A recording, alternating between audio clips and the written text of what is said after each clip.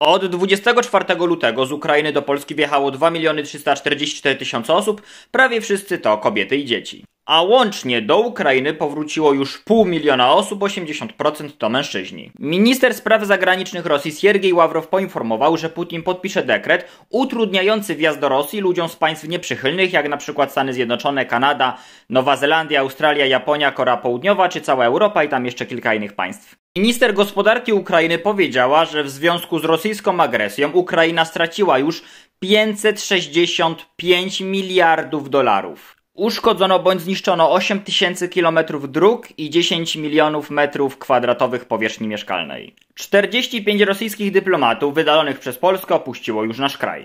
Też inne państwa decydują się, by częściowo wyrzucić rosyjską delegację, jak na przykład Holandia, Belgia, Irlandia czy Czechy. Tutaj zdjęcie zrobione wczoraj w Irpieniu, budynek po rosyjskim ataku. W niedzielę około 19 ostatni pociąg z Sankt Petersburga w Rosji wjechał do Finlandii. Było to ostatnie połączenie kolejowe między Unią Europejską a Rosją. Oczywiście pociągiem przyjechało wielu Rosjan, którzy z różnych powodów opuszczają Rosję. Putin podjął decyzję, że państwa nieprzychylne mają płacić Rosji za gaz rublami. Oczywiście państwa grupy G7 i Unia Europejska, czyli w tym Polska, odmówiły.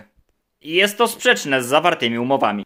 Wskutek ostrzału Charkowa Rosjanie zniszczyli zabytek, dawną siedzibę Straży Pożarnej z 1887 roku. Podczas swojej wizyty w Polsce prezydent USA powiedział, że Putin nie może zostać u władzy. Wytłumaczył, że nie chodzi o obalanie prezydenta Rosji, ale chodzi o to, że jest oburzony tym, co robi Putin. Na pytanie, co o tych słowach może pomyśleć sobie Putin, odpowiedział, że nie obchodzi go, co myśli Putin. Rzecznik rządu Rosji powiedział, że prowadzona jest z Rosją wojna handlowa że wojna trwa w zajmowaniu naszych, czyli rosyjskich funduszy, nieruchomości itd.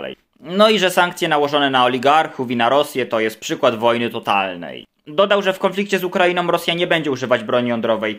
Szokująca informacja. Dodał, że użyliby jej wtedy, gdyby było zagrożone istnienie Rosji. Dziś w Turcji odbyły się kolejne negocjacje rosyjsko-ukraińskie. Prezydent Turcji na początku powiedział, że kontynuowanie tej wojny nikomu nie przyniesie korzyści. Po negocjacjach pojawiły się nawet jakieś lekko obiecujące wypowiedzi, ale pamiętajmy, że między tym, co Rosja mówi, a co Rosja robi, jest potężna przepaść i lepiej nie wierzyć w to, co mówią. Dzisiaj Rosjanie dokonali dość sporych zniszczeń w miejscowości Mikołajów. Tutaj widać mieszkańców Charkowa, którzy sprzątają po rosyjskich atakach. Ten wykres pokazuje, ile terenów ukraińskich jest pod ukraińskim zarządzaniem od początku konfliktu. Tutaj nie ma zera, tylko 65% i widzimy, że pierwszy raz od początku inwazji poszło mocniej w górę.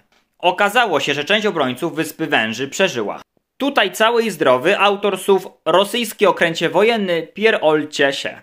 Niestety dalej wiele ukraińskich dzieci śpi w warunkach, w jakich nigdy nie powinny.